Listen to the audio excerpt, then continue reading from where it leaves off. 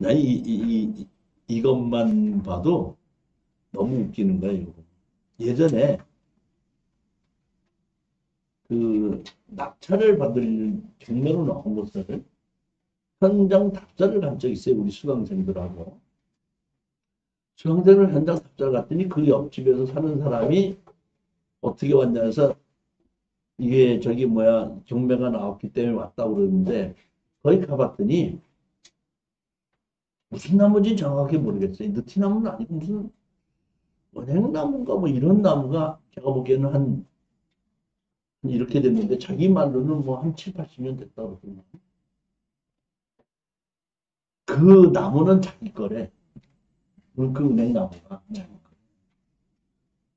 왜냐면 우리 수, 이제 현장 답사라는데 우리 땅을 낙찰을 받아도 그 나무는 자기 거니까 나무를 가져간다면 자기한테 돈을 좀 줘야 된대. 또 얼마를 주시면 됩니까? 했더니 이게 7, 80년이 된 거고 여기서 은행을 따도 뭐 몇십만 원씩 딴데 그다음에 자기가 생각하기에 뭐 한 1억만 준다 그러면 넘기겠습니다. 말로 이제 1억을 불러보는 거예요. 나보기에는 뭐, 그러니까 다시 말하면 낙찰 받는 땅에 자기 게 있으면은 낙찰 받는 사람한테 자기가 돈을 받을 수 있다고 착각하는 사람들이. 나는 속으로 만약에 그 낙찰 받았으면 계약서를 쓸 거야. 뭐 예를 들어서 천만 원을 했는데 계약금 얼마? 50만 원 준다고 계약금 줘놓고 지 거라고 주장했으니까 그 다음에 어떤다? 너 철거 나가 지금 그 계약금 승계에 몇 배를 덜러 받고 돈 불어줘야 돼. 아, 그것도 방법이네. 그러니까 그렇게 우기는 사람들이 있을 때. 근데 자 이게 나는 그렇게 원하지 않은데 그렇게 한 사람이 있었어. 저기. 충청남도 공주신 탄천면 안양리 527-인데 토지만 매각이고 건물이 몇? 94평입니다. 94평인데 20, 2,500만 원이면은 평당 한 25만 원 꼴이죠. 예. 건물은 옛날 건물입니다. 이게 12만 원까지 떨어졌으니까 25만 원, 12만 원 반까지 떨어졌는데 이걸 살까 말까 하다가 제가 이거를 한번 해봐야 되겠다 하고 제가 생각했던 것이 여기 항공사진이 안 나오나? 없는데 여기 항공사진에 보면은 여기 보면은 이 옆에 뭐냐면은 산업공단이 있어요. 공단이. 그래서 정문은 아니고 후문으로 걸어서 가면 한 300m만 산업공단으로 들어가. 그렇기 때문에 내가 이렇게 보기엔 거기 공단이 큰 게 있기 때문에 이쪽 정문 쪽이 아니고 후문 쪽이지만은 대학도 지을 수 있는 업자들이 혹시 살는지 모르겠다 가격이 싸니까. 그래서 이제 추천을 했는데 낙찰을 받은 겁니다. 1600에 낙찰을 받았죠. 낙찰을 받았는데 자 보십시오.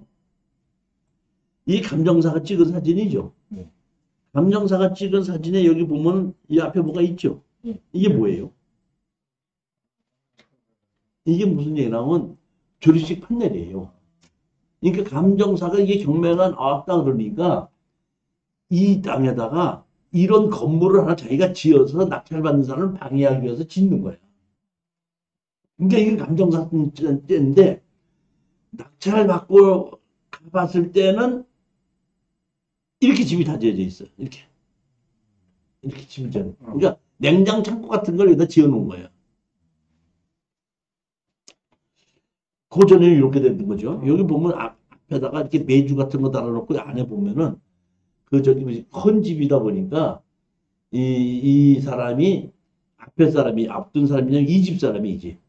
이 집이 어떤 요 집이거든요. 요 집 사는 사람이 여기를 관리하면서 그 매주 옛날 집 옛날 집에다 매주 같은 것도 담아서 거- 옛날 집에다가 걸어놓고 고추 같은 같은 걸 말리면서 저기 뭐야 그 대청 마을에다 늘어놓고 깨 같은 거를 해갖고 마당에다 놔놓고 이 집에서 그렇게 쓰고 있는 거예요. 근데 이 집에서 어떤다? 이렇게 어떤 창고를 이렇게 지어놓은 거예요, 이렇게. 제가 여기 통고서를 붙였습니다.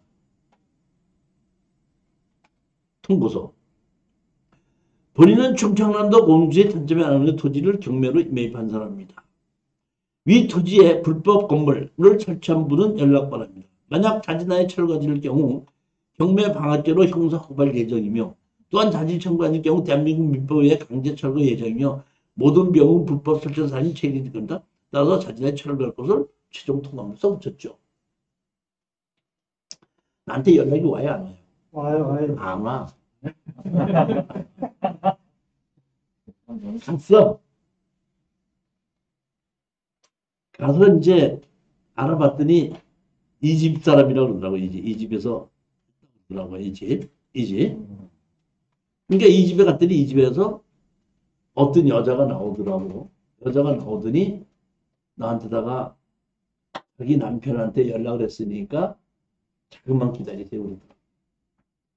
조금 기다렸더니 남편이 연락이 와서 왔어 왔어 어떻게 왔냐 그랬더니 나한테 한 얘기가 이 땅 낙찰 받았습니까? 이 땅 집 낙찰 받았습니까? 그러더라고 낙찰 받았습니다.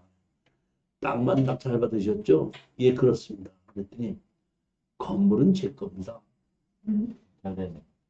건물은 제 겁니다. 건물을 1, 200만 원 주고 살 생각 꿈도 꾸지 마십시오. 정말입니까? 그랬더니 이집 당신 겁니까? 그랬더니 정말입니까? 정말이래. 알았습니다. 제가 이게 핸드폰 갖고 이제 그런 걸 이렇게 하고 이렇게 얘기하면서 보여주면서 이제 녹음을 한다고. 이 집 당신 거 맞습니까? 네, 맞습니다. 진짜 당신 겁니까? 당신. 그래요. 그러면서 하는 얘기가 전주다가 1, 200만 원 가지고 살 생각은 꿈에도 하지 마십시오. 그다가 다시 한번 물었다. 정말 당신 거 맞습니까? 그랬더니 맞습니다. 제가 이 땅, 이 건물을, 이 땅을 추천하려고 했을 때 제일 꺼름지게 원하면 빈집이 오래됐고 건물 관리 대장은 있긴 했는데 누군지를 몰라 모르는 거예요. 건물 건물 관리장이 없고 누군지를 모른다는 거예요. 그렇기 때문에 건축물 관리장이 있고 누군지를 알면은 그 사람을 상대로 해서 어떤다 지료와 철거 소송을 할 수가 있는데 누군지 알 수도 없고 건축물 관리장이 없기 때문에 내가 철거를 할 상대가 없기 때문에 이좀 소송을 해서 좀 불편한 감이 있는데 그래도 이걸 어떻게 할까 하다가 그냥 허물어 버리고 그 건설업자한테 팔면 어떨까 해서 생각을 했는데 자기가 주인이라고 나타나는 거야.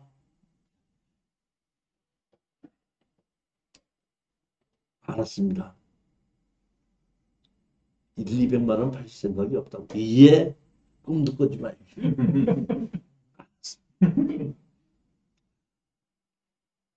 아저씨 어디 사세요? 저 집에 사는데. 알았습니다. 집에 와서 그 사람 집 등기부 등본을 띄웠더니 그 사람 이름이 나오고 뭐 나오고. 그 사람을 상대로 해서 내가 범사를 통해서 철거와 지료소송 넣으라고 소송하라고 그랬죠.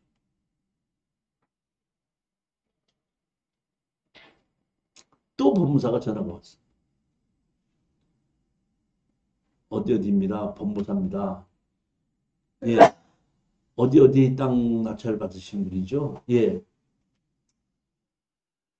다 돈 좀 조금 남자고 하는 거 아닙니까? 얼마면 파시겠습니까?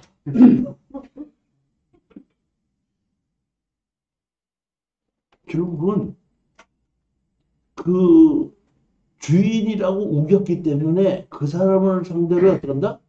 소송을 했고 내가 자기 이제 원래는 그렇게 됐으면 자기가 제가 아니라고 발 빼면 되는데 같이 그 얘기했잖아. 그러니까 발 빼지도 못하고 아마 법무사가 얘기했을 거야.